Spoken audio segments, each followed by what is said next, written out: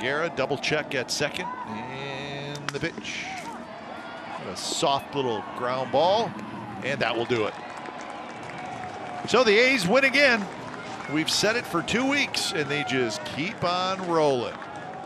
So, the Athletics, 13th straight win. Unbelievable. Tomorrow they will go for win number 14. Just another ho-hum victory, Dallas, for the Athletics. Just kind of that- a- We say that jokingly. Just kind of a hard hat lunch pail day at the office. Oakland A's, they are riding the wave, Kuip. So three hours and 19 minutes. The A's have won 13 in a row. They take game two of the series in Baltimore tonight. The final score, the Athletics seven and the Orioles two.